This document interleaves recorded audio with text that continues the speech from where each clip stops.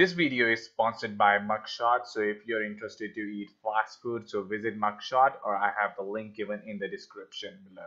So visit Mugshot and get 20% off from my promo code. So here we have another topic and this topic is basically recommended by a lot of my students. So I just find it that it will be the right time to create something like that. So um, it's very simple. So the first thing I want to show you is that we have the class section and the group. So if I just want to filter filter out the students from the 9 and A and they belong from the boys group. So I just simply need to press the uh, submit button and now you see we have the uh, group, the uh, last name and the first name. And if I wanted to have the for the class 10 and the section A, so we have we can easily filter it out. So I just have add these uh, at the two two different um, sections.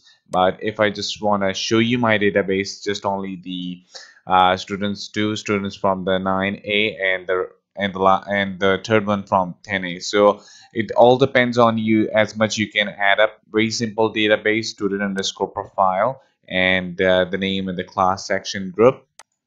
So that's what we are gonna create it and the uh, code is also given in the description in the github and you can easily download it from there right? So i want to explain you the code. I'm not gonna type each and everything so i find it good that it don't waste your time. Uh, so the first thing i'm gonna do is the uh, simple i use the bootstrap for and uh, i have uh, put the uh, link in the head tags and create a very simple form in the container the bootstrap class and the method is post and id i gave the id of add student because we are using ajax so i'm using id over here and uh, next i give the name to the class and I, as well as with the id and the section and the group and all all the same thing and the uh, submit button right? And down here the, this is the id for the marks data. This is where we can show the table. That's where we are showing the table. So i gave the id for the marks data and uh, i'm using jquery so as well as i give the uh, cdn from the jquery.com code.jquery.com that's where you can easily get the uh, uncompressed version.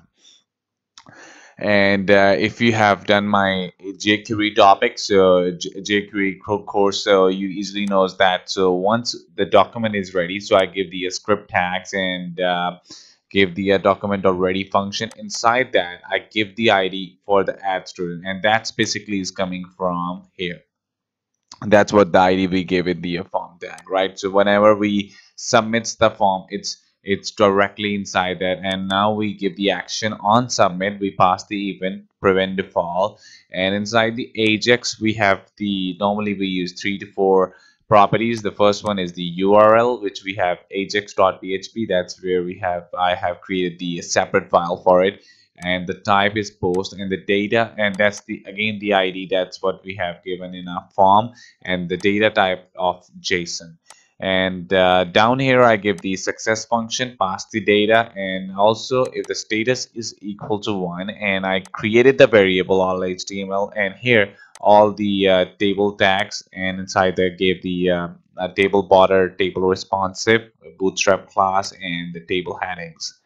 Alright, so then I also use the counter and pass the for loop because I want to extract the data and um, st list that's the variable uh, that we have just th that's where we can store our table that's where we want to show our table records. So uh, inside. The first one is the counter and uh, if you have ever used uh, for for loop in in javascript so basically that's we have uh, we gave the name of std underscore list and all the data inside the std underscore list with the loop std underscore key with the with the property name of name class and group. And that's all saved inside the uh, all html and uh, and we and remember that that's the marks data that where we are going to show our table so that's the uh, marks data. And uh, down here all shown in the html uh, sorry about that.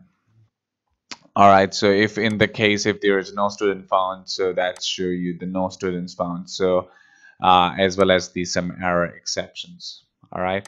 And uh, that's a very simple connection db connection. Um, the local host the name of the app and uh, mysql connection i hope you everyone uh, uh, have gone through with that. It's very simple, not nothing difficult. You can easily get it from the uh, W3 school. So ajax.php, that's the main file. We we require in database, and uh, it's we we set the post and that if if the uh, action is uh, equal to equal to get students, so that's where it's coming from.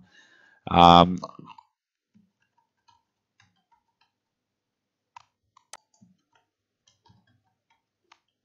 and you notice you see we give the uh, id of hidden and name action. So whenever the action is equal to get students so that's we have to show the class section and groups. And very simple query select all from the table name where class is this and section is this and as well as the group. And uh, down here we give the array of data and uh, we give the variable all the uh, all store in the uh, we, we pass the query inside the connection. And if this if all this if if the number of rows are greater than zero that means that we have the data. And we also give the empty array for all underscore rows.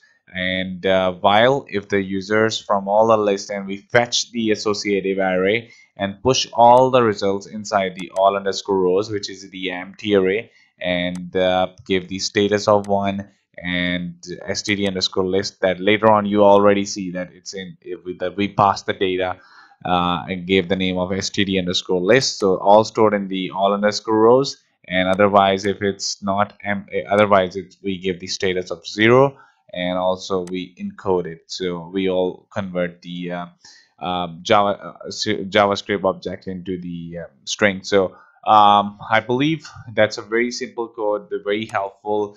I write this code as simple as I can, and I hope you guys will really fascinate and you can learn a lot and you can easily use this in your projects. So uh, I believe that will be helpful, and also link given in the description for uh, for this code. So thank you so much for watching this video. I want to see you for the next time.